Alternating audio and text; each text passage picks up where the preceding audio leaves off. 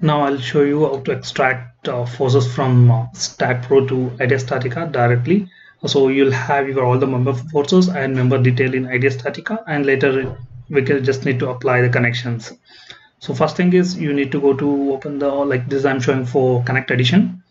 You need to go for utilities. In that utilities you will find a configure button. If you click then it will pop up tools menu where you have to go for new and in new you just have to create um, name idea static or any name you desire. So in command you just have to click on the browse button and go to your idea statica install folder. Here you have to select idea statica connection code check manager.vbs so once you select click open. So your uh, path will appear here then press ok so the command will be linked to your name idea statica. Then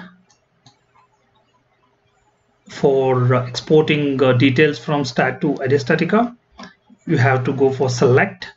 So in this you just have to remember you need to select geometry cursor not uh, beam cursor or node cursor. You have to go for geometry cursor because we need to select node as well as members. So which is possible using only geometry command once you select geometry command you just select the node. So from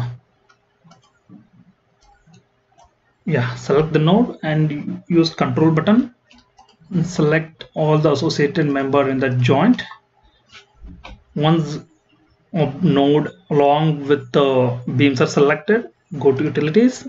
Here you'll find user tools which are newly added. And uh, for that here you have to go to idea statica with the name which you created.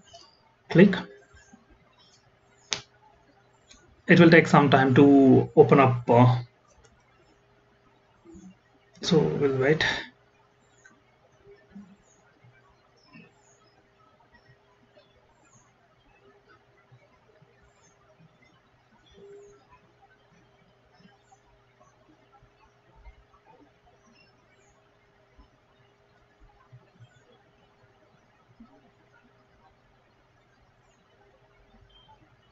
yeah. So here you can see already the node along with uh, all the properties will come here. So you can just have a quick look here.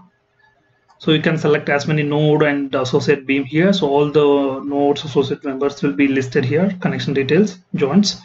Okay. So then you right click on this and click open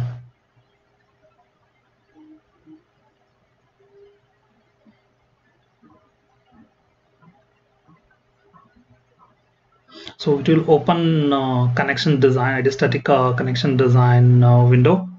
So where you can do all the required operation like bolt and plate and uh, you can give whatever connection uh, required.